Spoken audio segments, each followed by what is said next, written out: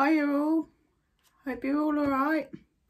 Well, what is the first thing you do when you jump out of bed? What do you do in the morning? What do you do? You do? Do you know what? One of the things that I like to do is I'll open my curtains, look out, look out the window, and I like to see what the weather is what the weather's going to be today, whether it's going to be a bright sunny day or it's going to be raining or maybe a bit dull. So actually, well, hmm, I haven't checked today what the weather's going to be. Can you can you quickly just go and have a look outside for me? Can you go and see what the weather is? Okay, I'll just wait here for you. Okay, then tell me what the weather is. Oh, is it really? Well, so, well, yeah. Oh, that's good. Well, sunny days are one of my favourite days. Because I love to go for a walk, maybe go around the lake, maybe go see the ducks on a nice sunny day. But I like feeling the sun on my face. It's really good seeing the sun on my face.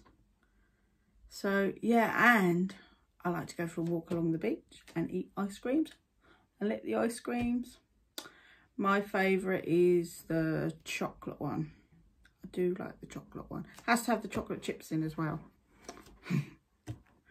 so, but sometimes on like rainy days, that can make you feel a bit down, can't it? Because sometimes you have to stay in because it's all rainy and can be a bit more cold, can't it?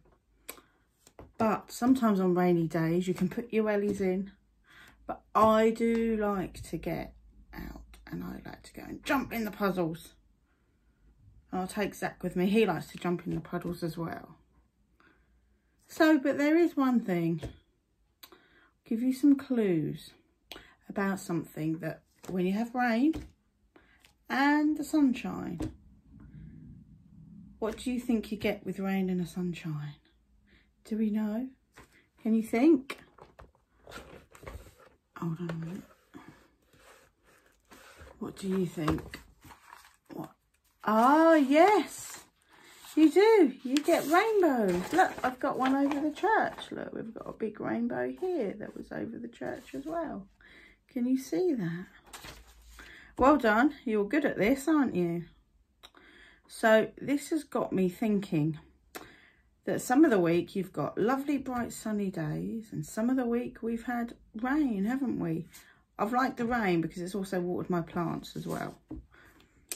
But there are some times in our lives, isn't there, that sometimes we can be bright and happy and then there's other times we can be sad, isn't there, and not feel so great. But I'm thinking of a story that we've got, a story that the Bible tells us, where God will always love us and he'll always be there and he'll always help us. And it involves a rainbow. Can anyone think of what it is? That's right, it's the story of Noah. Shall we go and read the story now? And then we'll come back. Here's the story of Noah's Ark. In the beginning, God created a perfect and wonderful world filled with beauty and love. Many years later, when God looked down on the earth, God saw that his earth had gone wrong. God thought that the world had become filled with people who were sinful and wicked. He was sorry that he ever made it. So while people were fighting, cheating and lying, God decided to destroy all the evil people from the earth. But just as God was thinking this, he saw a man called Noah. Noah believed in God and prayed to him every day. Oh, here is one honest man. He is kind and loving and good and is worth saving. I will speak to him and tell him what to do. God spoke to Noah. Now listen carefully. I have something very important to tell you. The world that I created has gone wrong. I want to destroy this world and need you to help me create a new, perfect world. Noah couldn't believe it. You mean every living creature destroyed? God told Noah that he wanted him to build an ark to save him, his wife, and his three sons. He told him what he needed to do. I won't destroy every living creature, God said. And he told Noah that as well as his family, he wanted him to take every kind of animal, every two of every kind of animal with him on the ark. Noah got to work building the ark straight away. Noah's wife wondered what he was doing. Noah, what are you doing? she asked. God was talking to me today. God? Yes. He told me that the world has become so bad and evil that he had no choice but to destroy it with a flood. But he promised to save you and me, our sons, and two of each animal in the land. What's an ark, Noah? It's a very big boat. God said it's going to have rooms inside like a house. It has to be big enough to hold two of every living creature and enough food for the animals and us to eat. So Noah got busy right away. He cut down trees for wood and he worked non-stop to make the ark. It took him many years to finish the ark. Many of Noah's neighbours came around wondering what he was doing. Noah explained, God told me to build a boat, a safe place for anyone who wants to be saved from the big flood. But all the people laughed at Noah. Ha, ha, ha, a flood. You mean water will come out of the sky and drown all of us? I have never heard such a crazy thing in all my life. What a load of rubbish. You really make me laugh, Noah.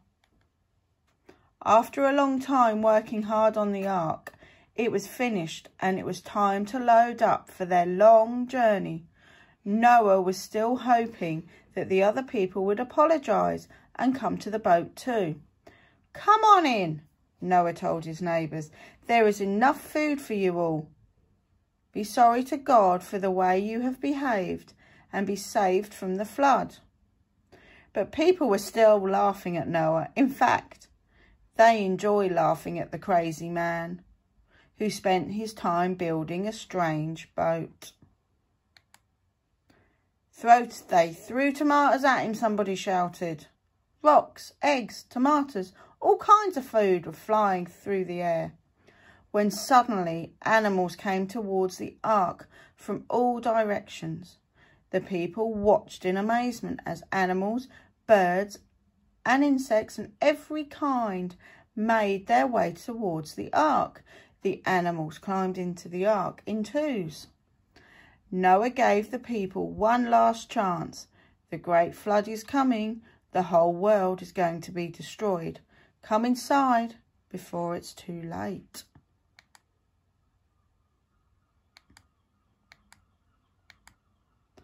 But the people continued to laugh at Noah. They laughed at him and called him crazy and stupid. Suddenly, the big door got closed by itself. God had closed the door, and just as he did, the dark clouds start to move in. The people couldn't believe their eyes. Water is coming from the sky, just like Noah said. So the old man was right. The floodgates of heaven were opened, and all the water above the earth came pouring down. The desperate people, wild with fear, started pounding the door and shouting for Noah to let them in. Noah! But God had shut the door and nobody could open it. The huge stormy waves rolled over the wicked people and swept them away. The ark sailed away and after many, many days of sailing, the land started to dry out. Then one day, the bottom of the ark hit dry land. We've been sitting here for so long now. How much longer is it going to take for the waters to go down? Noah's son asked. I know it's hard to have patience, but we must wait on God. When is it his time for us to leave the ark? He will tell us.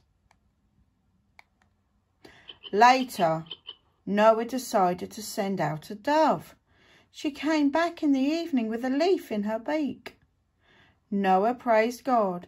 This means that not only are the waters still going down, but there are trees growing on the land. Noah thought, let's open the door of the ark and let all the animals loose now, shall we? said Noah's son. No, God will tell us when. He may, may need a little more time to grow enough plants and grass to feed the animals before we let them out. At last, the great door creaked open, and there up in the sky, they saw a glorious glowing arch of many colours. God spoke to Noah again and said, I have put a rainbow in the sky as promised to you and every creature, that I will never again send a flood to destroy the whole earth, and to remind you to make the world a wonderful place. Every time we see a rainbow, we should remember the new good world that God and Noah created for us. So the story that we just listened to, it reminds us of God's love for us, the rainbow that he sent, of God's love, that he has so much love for us. And we know, as his children, we can be absolutely certain of that. Whatever we're going through, we know that God is with us. And he'll help us in our good days and he'll help us in our darkest days and the days that we're sad but he can always be there for us and help us. We just have to talk to him. So what I'm going to do is I'm going to pray now. Dear Father God, thank you that you are a God and faithful God. Thank you that you never change, that you always love us and are always with us, no matter where we are or what we are doing. Help us to see you and know you more as we choose to praise and worship you, Lord. Just ask for your love and blessings in Jesus' name. Amen. Well, I'm going to, hopefully a song will come up next. If not, I'm going to put a link just under the video so you'll just be able to see it just underneath, hopefully. Okay, well, you have a good week and hopefully I'll see you soon. Bye-bye.